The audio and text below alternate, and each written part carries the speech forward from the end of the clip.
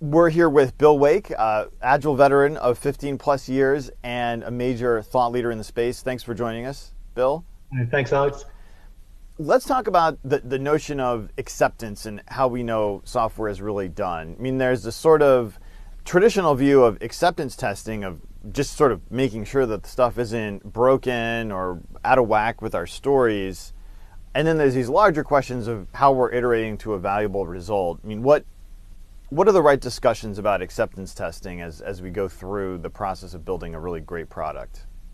Yeah, so I think um, uh, there there really are different levels going on, and uh, I think that the kind of top one about there's there's outcomes we're trying to achieve, and how are we going to measure those, and and what our success is from the the program as a whole, versus here's a feature. Uh, I think it should work this way. Does it really work this way? If it does, it's good, and, and so on. So, um, you know, I hope we can uh, get teams to focus on how are they going to understand if they they've succeeded or not. So, um, an example, we had a, a company doing some, um, I guess you'd say, data brokering kind of things. They would take all kinds of information in and uh, uh, merge the ones that were related and and uh, uh, sell the resulting package. So for them, they could measure their outcome in terms of, you know, for uh, the percentage of information available um, on this particular thing they were, the information they were doing, um, you know, what percentage of that information have we actually made available?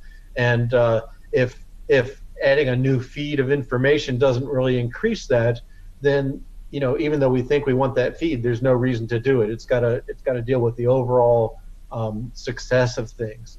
And uh, you know, sometimes that success is is pretty easy to understand. Other times we really have to to spend some uh, uh, effort and money to to really go out and me- measure that and understand it. And uh, uh, if we don't have that understanding, we really need to get it somewhere because otherwise we're just kind of spinning things out and, and not doing it. Um, where the more uh, function level kind of acceptance thing, we can um, it tends to be more self-contained, and we can we can say, you know, we're defining a feature and it's, you know, it's got these inputs and these outputs and these effects. Are they doing what we want and can we automate that and so on? And I mean, automating the functional tests or system tests, whatever you're going to call them, is, it's a pretty big job, and it's a place. It's it's one of these several places where probably interdisciplinary collab, successful interdisciplinary collaboration is a big determinant of whether that's a good investment or an investment that doesn't look like it's paying. I mean, how do some of the practices that you work with teams on come into play there, and what, what are some patterns you see of that whole thing coming together versus not being a very good investment?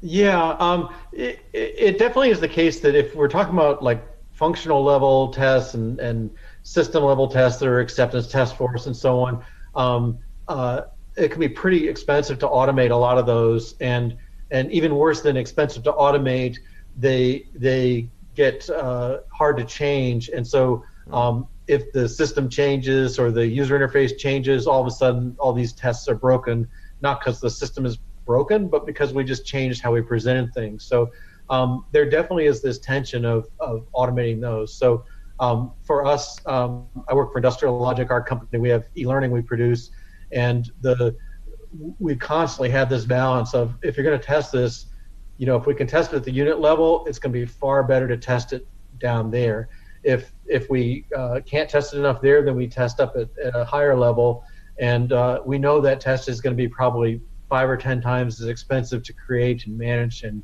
um, almost always is five to ten or more times slower to run, and so it's it's an expensive test all around. And uh, um, if we're finding that one of those tests just seems to break for no reason all the time, we'll take it out and and find ways to test some of those things at a different level because uh, you've got to pay attention to that balance. And uh, the the counter case is teams that they've they've invested a lot, or they feel you know it's sort of a sunk cost kind of problem. They've invested a lot in in terms of creating those tests, and they want to preserve their investment in that. Um, but the tests may not be paying, and it may be slowing them down quite a bit. And they may re- not realize that there's a lot of duplication that the tests they've made up here if the team is really doing the unit testing and so on, a lot of that same functionality is already going to be covered, and uh, it, so they're they're creating extra tests that don't really add any extra assurance or coverage. And uh, uh, kind of moving away from that and realizing that there are different levels we can test through. It may not be that we have to test every aspect of the system through the web interface. Maybe there's an API layer or SOAP layer or some other kind of intermediate layer between that we can test a lot of things through that. And uh, that may be a lot cheaper than the higher level tests. So um, it's definitely classic for teams. And a lot of the uh, classic user testing tools that let you kind of uh, run and play and and just type, you know use the system and it captures things. Uh, those often are very UI focused and and very uh, susceptible to breaking. So uh, having that range of tests and understanding which test fits where really helps. And are, are there particular patterns or practices, habits that you think help teams delineate the, the right place to test the right thing and av- avoid duplication and create focus in the right places? Yeah, uh, and the big thing is collaboration. So uh, if I can make sure that my testers and programmers are, are, collaborating on things early on, that helps a lot. And uh, so one of one of the teams I work with, the, when the programmer sat down to work on something, they'd pull a QA person over and say, "Here's the kind of tests I'm going to be writing for this thing. What do you think?" And the QA person might say, "That sounds great. I won't even have to create this test over here because you've done that, but." you haven't considered this and this and this. Maybe you know maybe your test ought to cover that too. And oh, I can cover these too easily, but I can't really do that one. Can you do it? And they get the trade-off between them. Um, you know, to hit that balance where if you just leave them kind of working independently, or even um, the worst case, I see teams where the developers work on this sprint and the testers can't test anything till the next sprint. It's much more sequential. And uh, you know it's hard to get that that shared sense of what we're trying to do and, and get the benefit together. So um, you know moving moving that so that people are working together can can really help us understand. And then periodically just paying attention to what what's working and what's not and uh, which tests seem to break for no reason and, and all those things to understand and wh- why do you see that pattern happen where we can't test until the very end or the next cycle? Is that a, a work in managing work in progress problem or a system construction problem, or wh- where do you think that comes from? I think mostly it tends to be a process problem. Um, at least uh, a fair bit of groups. Um, I went to one a few weeks ago actually that you know they they had this mindset that says QA should be independent, and um, they sort of think we're acting like an independent organization, but the reality is they're not really that much independent. Um, and uh, you know, I, it, there's certainly places where a truly independent thing might might be significant, but the the kind of business systems we were looking at, I don't think the value is really there. And um, you know, a lot of times the process has been structured uh, kind of on the assumption we we say mini waterfall sometimes that um, you know people still assume they'll do some you know specification and design and programming and testing that it'll happen more or less in that order.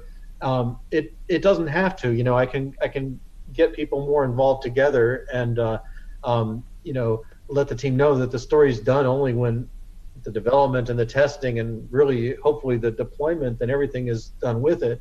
And uh, um, my friend tim ottinger calls it plate emptying you know that we want to get this stuff off our plate and out of our hands. So if we're the programmer, finish our stuff, throw it over to the tester, and let them do it then.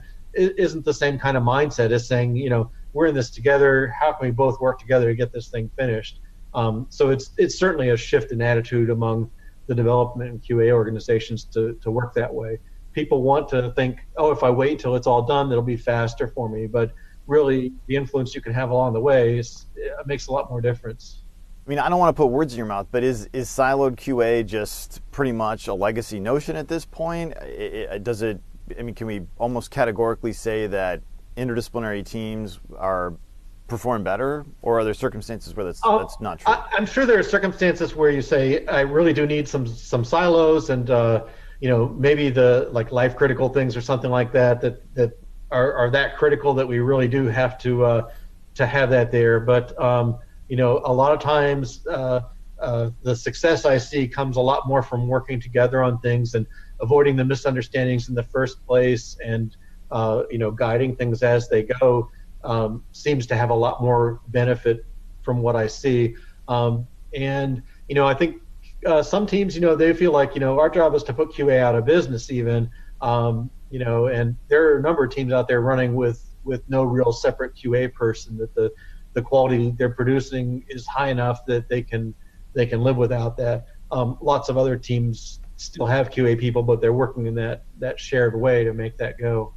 Because while while test is emerging as it's having kind of its own renaissance in a way with you know DevOps and automation, the idea that it should exist as a department, those are I mean those are two different things. Would you agree with with that? It's yeah. I mean you know if if if I was setting up the company, I would not make separate departments like that, but put them together. Um, you know, but maybe there's some reason you would convince me that that's not quite the best way to go. But uh, you know, I I tend to prefer to see teams that really are whole teams and. Uh, you know, because I want them delivering on a, a short cycle, they need to be able to work together pretty closely. Um, you know, it's not like I'm going to finish development and then give give QA uh, three months to test it. You know, it's like we're we're doing a feature, we're going to develop it this morning and ship it this afternoon. And if it's going to need QA testing, then we got to get that in that cycle and, and get it get going as well. And that's not going to happen if I'm uh, uh, putting the QA people in a separate building and they're talking to each other once a week or something. You know, it, it works much better if it's uh, in the shared team. That's some great advice on, on the practicalities of, of working on tests and creating successful teams together. Thanks, Bill.